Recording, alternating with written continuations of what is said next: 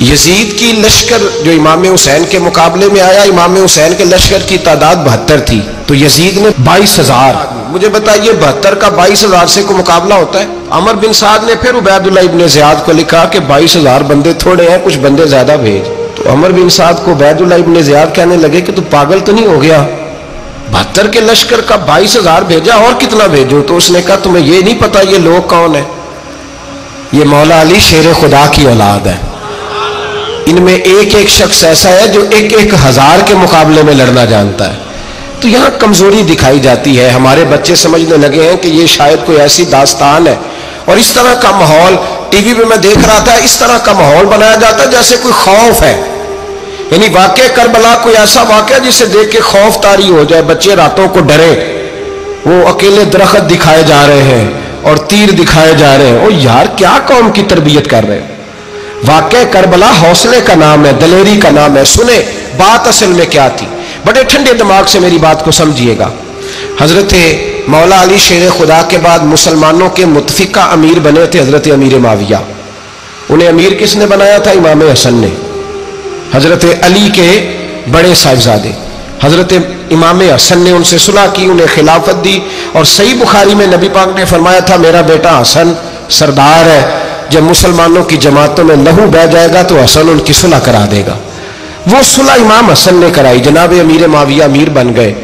हज़रत अमीर माविया रदी अल्लाह तहो बड़ा प्यार करते थे नबी पाक से, बड़ा एहतराम करते थे हुजूर के ख़ानदान का।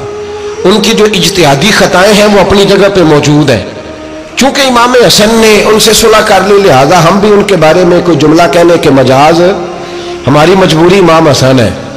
इसलिए कि जिसे इमाम हसन सही कहे फिर इमाम हसन के मानने वाले को उसे गलत नहीं कहना चाहिए। हज़रत अमीर माविया रदी अल्लाह तु का जब विशाल हुआ तो हज़रत इमाम हसन पहले ही उनसे विशाल कर गए। आपको जहर दे दिया गया, आप शहीद हो गए।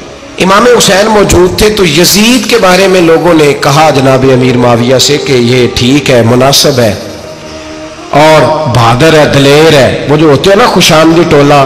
तो हज़रत अमीर माविया के गिर्द भी कुछ ऐसे लोग थे, उन्होंने आपसे कहा कि यजीद को नामजद कर दे तो आपने यजीद को बुलाया, हवाला मुझसे देख लीजिएगा।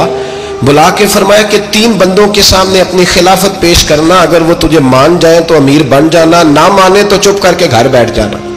वो तीन बंदे कौन है? जनाब अब्दुल्ला इबन अब्बास, हज़रत अब्दुल्ला बिन जुबैर और इमाम हुसैन रदी अल्लाह ये वसीयत फरमाई जनाब अमीर माविया। हुआ ये कि यजीद जब अमीर बना ना दो तीन चीज़ें होती हैं जब किसी बंदे को काबू करना होता है। दो तीन चार पाँच चीज़ें ऐसी होती हैं जिससे बंदा काबू आता है। तो उसने भी फौरी तौर पे यजीद ने देखा, मेरे लिए मसला क्या बन सकता है?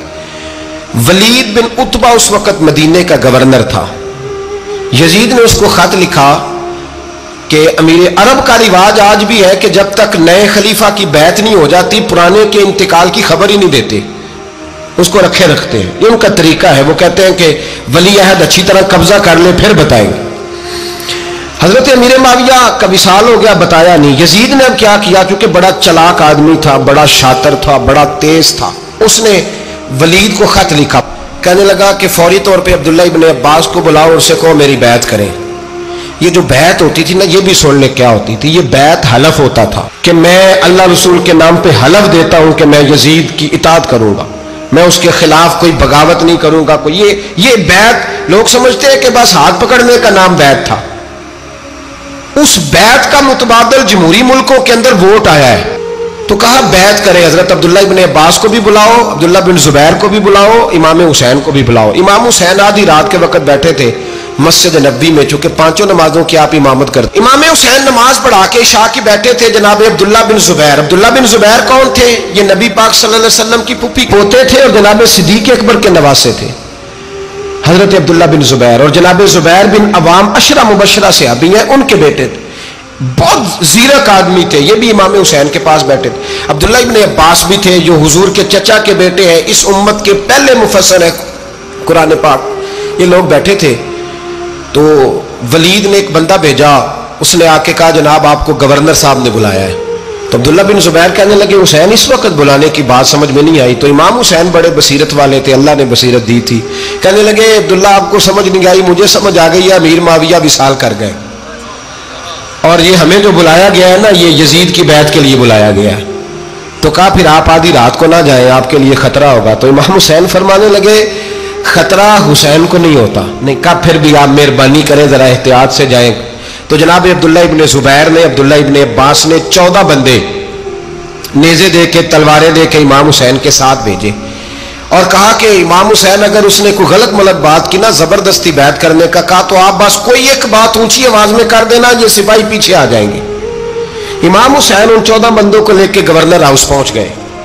जब आप वहाँ पहुँचे उसने बताया, उसने कहा, जी, हज़रत अमीर माविया इंतकाल कर गए और आपने यजीद की बैत करनी है। तो इमाम हुसैन फरमाने लगे, मैं छुप के बैत नहीं करूँगा। मजमा लगाओ, जुमे वाले दिन ऐलान करो। जो तरीका है हज़रत अबू बकर सिद्दीक का, जो तरीका है हज़रत उम्र फारूक का, जो अंदाज हज़रत उस्मान गनी का है, जो मौला अली का है सरे आम ऐलान करो। अगर सारी दुनिया यजीद की बैत करेगी तो मैं भी तैयार हूँ। तुम मुझसे बैत लेके फिर लोगों को बताना चाहते हो कि हुसैन बैत कर रहे हैं तो तुम क्यों नहीं कर रहे? मैं आम आदमी नहीं हूँ, लिहाजा छुप के बैत नहीं करता। जब ये बात की ना तो वलीद बड़ा नरम दिल था और इमाम हुसैन की शान को जानता था। वो जानता था ये नबी पाक का खानदान है। उसने कहा, जी मुझे तो हुक्म था, बाकी आप हजूर के नवाज़ है, मैं कर कुछ वहाँ एक बड़ा बदबख्त शख्स बैठा था, अब्दुल मलक बिन मरवान। वो वलीद से कहने लगा कि अगर हुसैन आज तुम्हारे हाथ से निकल गए तो तुम्हारे लिए बहुत बड़ा मसला खड़ा हो जाए इन्हें जाने ना देना। या बैत कराओ, या इनसे कहो, जंग के लिए तैयार हो। तो इमाम हुसैन रदी अल्लाह तु के कानों में आवाज़ गई तो फरमाने लगे इबन मर जाना, अगर तेरे अंदर ज़रूरत है तो आ सामने हुसैन के। इसके कानों में बातें ना कर काना फूसी ना कर, बाहर आ मैदान में, शरारत ना कर, बाहर आ। मैं तुम्हें अभी बताता हूँ कि हुसैन से मुकाबला करने का अंजाम क्या है। ये कह के इमाम हुसैन बाहर निकले। अपने भाई मोहम्मद बिन अनफिया को बुलाया। अब्दुल्ला बिन जुबैर, अब्दुल्ला इबन अब्बास, ढेर सारे लोग इकट्ठे हो गए। फरमाया, ये मामला है, अब क्या करना है? तो वो कहने लगे, हजूर, वक़्त अभी मुनासिब नहीं है। आप इस तरह करें, यहाँ रुके। हम मक्के से, इराक से, कूफे से लोगों को बुलाते हैं। यहाँ एक बड़ी मजल से मुशावरत कायम करते हैं। इमाम हुसैन फरमाने लगे, अगर तुम मुशावरत कायम करोगे तो वलीद और अब्दुल मलक बिन मरवान, वो तो जंग करने को तैयार है। और नबी पाक ने फरमाया, एक मेंढा होगा जिसकी वजह से मदीने की गलियों में लहू बहेगा। फरमाने लगे, मैं वो बकरा, वो मेंढा नहीं बनना चाहता। कहा फिर आप क्या करेंगे? तो इमाम हुसैन रो पड़े। फरमाने लगे, मैं मदीना छोड़ जाऊँगा, लेकिन मदीने की हुरमत पामाल नहीं होने दूँगा।